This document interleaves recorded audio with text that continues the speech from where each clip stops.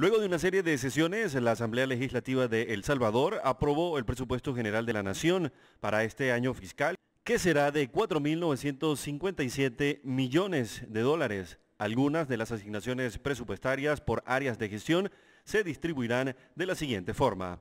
Para Administración de Justicia y Seguridad Ciudadana, 943 millones. Desarrollo Social, 2.110 millones. Apoyo al desarrollo económico, 435 millones. En salud, 4 millones 800 mil dólares.